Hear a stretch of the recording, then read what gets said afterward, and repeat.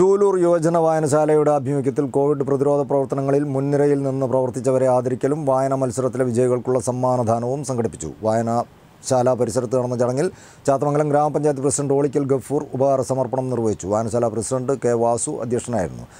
ഗ്രാമപഞ്ചായത്ത് വികസനകാര്യ standing committee chairperson M T Pushpa ജില്ലാ ലൈബ്രറി കൗൺസിൽ അംഗം ഗോപാലകൃഷ്ണൻ ചൂലൂർ പി കുഞ്ഞൻ എം നിതിൻ തുടങ്ങിയവർ ചടങ്ങിൽ സംബന്ധിച്ചു.